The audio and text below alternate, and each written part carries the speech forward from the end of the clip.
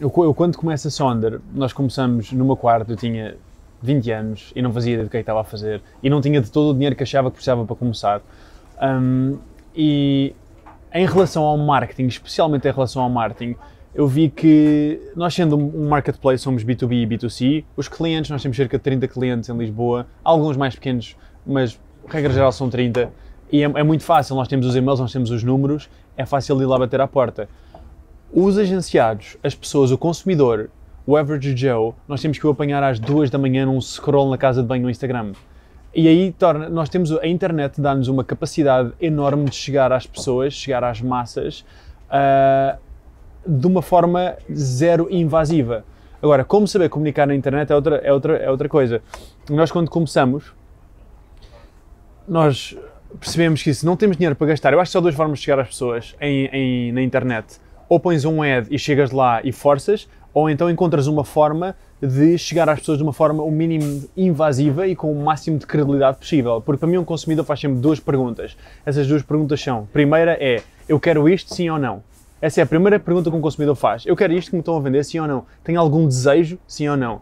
A segunda é, eu confio, se a primeira for bem sucedida, ou seja, se eu tiver desejo, eu confio nesta entidade para me proporcionar este produto ou serviço que me vai satisfazer este desejo, sim ou não? E um anúncio na internet, um anúncio, um Facebook Ads, um Instagram Ads, se, se conseguir produzir desejo, mas não conseguir produzir essa credibilidade, essa confiança, a pessoa não vai comprar, porque o, nem é, eu diria que nem é o português, é o humano em geral é cético e não, não quer de todo comprar uma coisa na internet que uh, não seja fidedigna.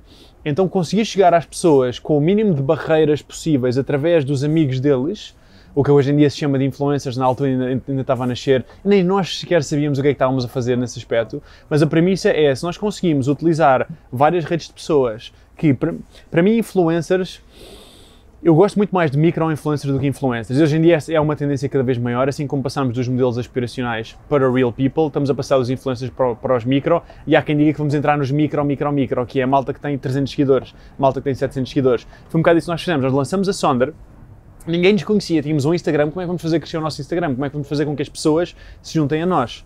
O que fazemos foi, 70, os nossos primeiros 75 agenciados, que são os amigos dos amigos que nós alcançámos no boca a boca, todos eles no mesmo dia, à mesma hora, publicaram uma fotografia a e branco nas redes sociais a dizer não é só ser diferente, é fazer a diferença com a Sondra People. Foi só isto. Nós nem, dizia, nem sequer dissemos o que é que nós fazíamos, eles nem sequer disseram isso. Só que como foi tudo ao mesmo tempo, e na altura o Instagram ainda, não era, uh, ainda era cronológico, qualquer pessoa que fizesse scroll nas redes e tivesse 5 ou 6 pessoas em comum começava-se a questionar, mas o que é que é isto?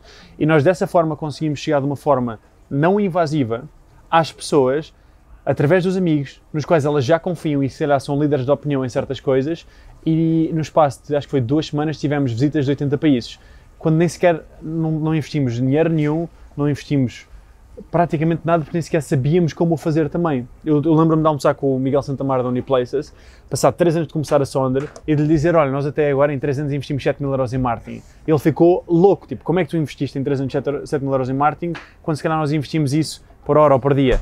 E, e para mim saber, para mim, a internet é uma ferramenta inacreditável para saber comunicar e hoje em dia para saber vender também, integra Shopify, faz dropshipping e tudo acontece ali. Uh, é inacreditável mesmo. Agora, tem que saber utilizar, tendo sempre em conta a natureza do ser humano. Isso para mim é o fundamental. Uma pessoa que não perceba ser humano e tenta utilizar a internet para vender, não vai ser bem sucedido sem perceber a natureza, o ceticismo, a necessidade de confiança e de validação que o ser humano tem. Mas essa é a minha opinião. Eu...